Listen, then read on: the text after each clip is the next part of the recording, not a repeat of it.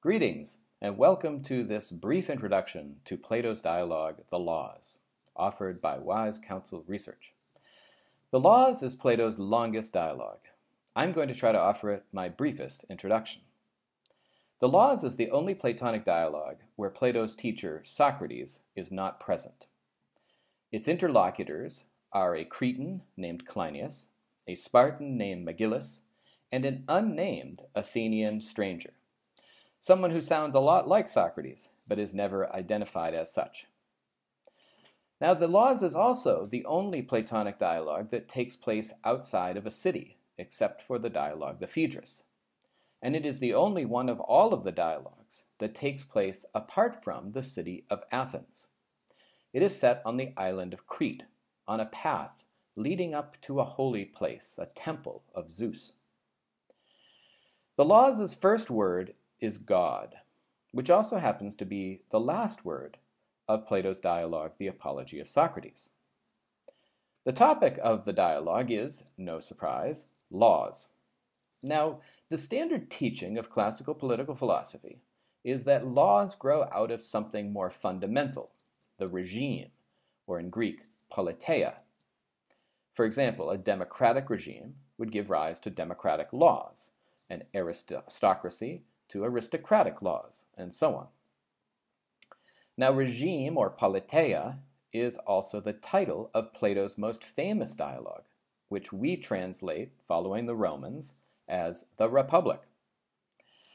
So the Republic looks like it is the more fundamental of the two dialogues, because it takes up the question of the regime.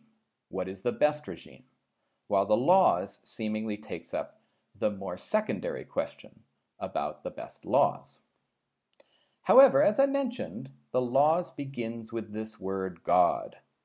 The opening question of the dialogue is, A God or some human being, O strangers, which is the cause for you of the setting down of the laws?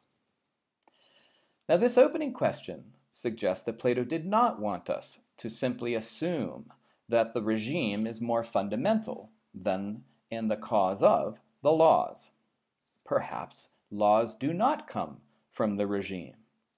As strange, as strange as it sounds to our secular ears, maybe the law does ultimately come from some superhuman or even supernatural source. After all, that's what we learn from the Torah, from the New Testament, and from the Quran.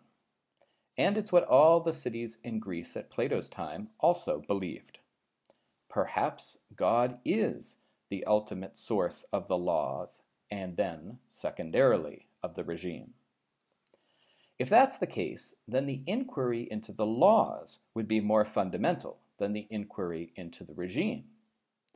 And this inquiry into the laws would be of great importance not only to political philosophy, but also to philosophy proper, for it would concern the cause of everything. So, even though the Dialogue the Laws presents a conversation among three old men, none of whom is identified as Socrates, it begins with the most fundamental question of any Platonic dialogue.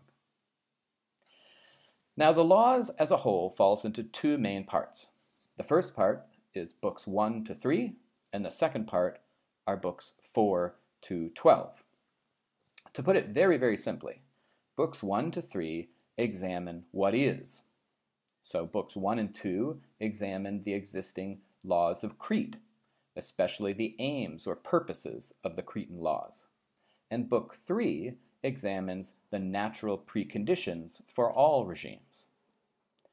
The turning point of the dialogue comes at the end of book 3, when Cleinias the Cretan reveals that he has been selected to lead the Cretan cities in setting up a new city, a colony in Crete. He is a prospective founder. So books 4 through 12 turn away from the consideration of what is to discussing what could be a regime and laws based on very different purposes and very different principles than Crete's existing laws. It is a sign of how much the Athenian stranger must have impressed Cleinias and Megillus in books 1 through 3, that Cleinias not only shares this opportunity that he has before him, but Cleinias remains engaged as the stranger proposes laws to him that bear very little resemblance to the laws of Cleinias's homeland. Books 4 through 12 themselves fall into two main parts.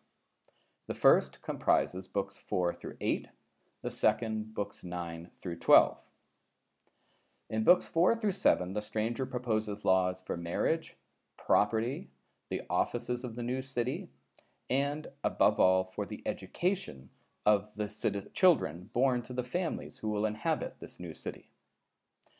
Book 8 then descends from the serious topic of education to play. The stranger proposes laws regarding the city's holy festivals, and particularly laws regarding the citizens' sexual lives. Now, it may come as a surprise then that in books 9 through 12, the stranger turns to the penal code, that is, the laws that concern the punishment of criminals.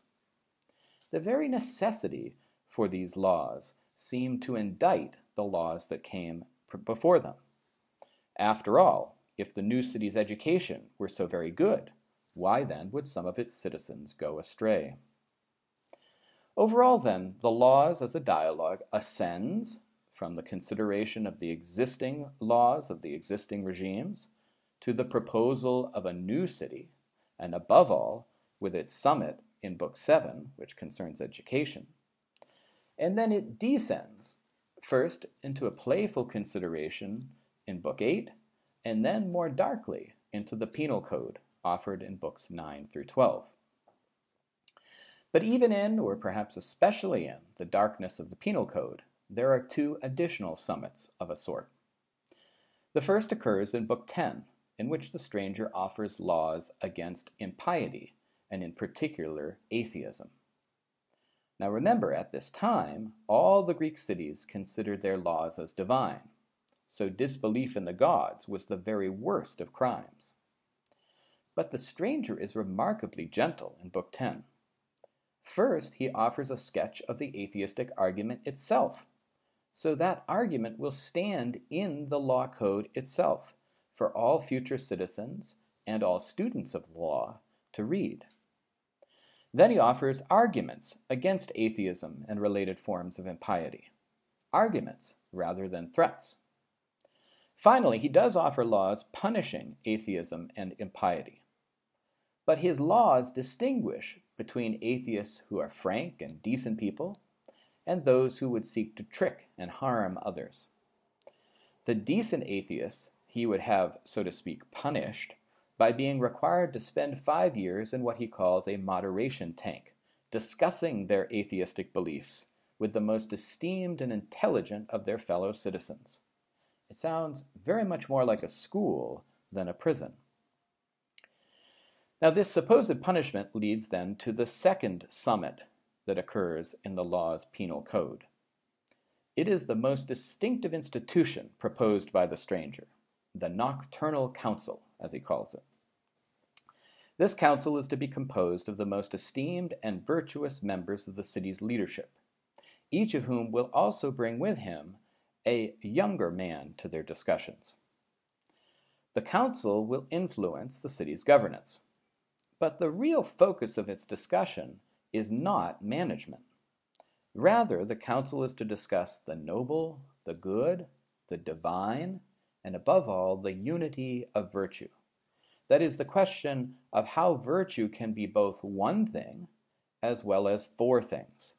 That is, courage, justice, moderation, and prudence. Now, these discussions are crucial for politics.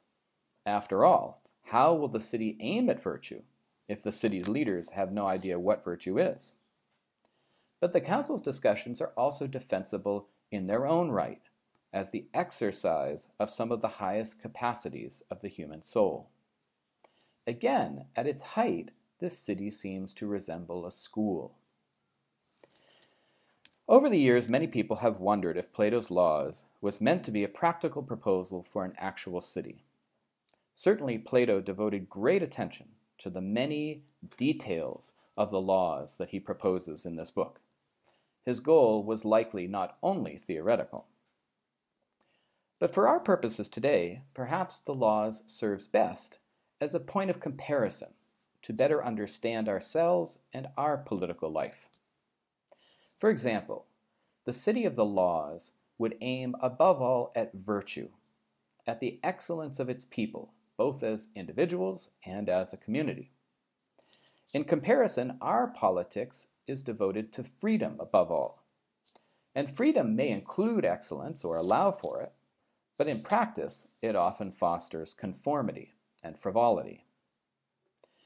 The city of the laws would urge its citizens to see their private good inextricably bound up in the public good. Our politics, in contrast, justifies public expense as serving above all the enjoyment of our private rights. Finally, as is well known, our politics is secular, treating religion as a private matter with little or perhaps no public ramifications. The laws, in contrast, continually poses the question of the place of the sacred or the divine within the civic realm. The laws does not assume an answer to that question, but it does suggest that a community that, as a matter of principle, exiles the gods would likely do great harm to the human beings who live within it. Thank you for viewing this brief introduction to Plato's Laws offered by Wise Counsel Research. Please keep tuned for future offerings.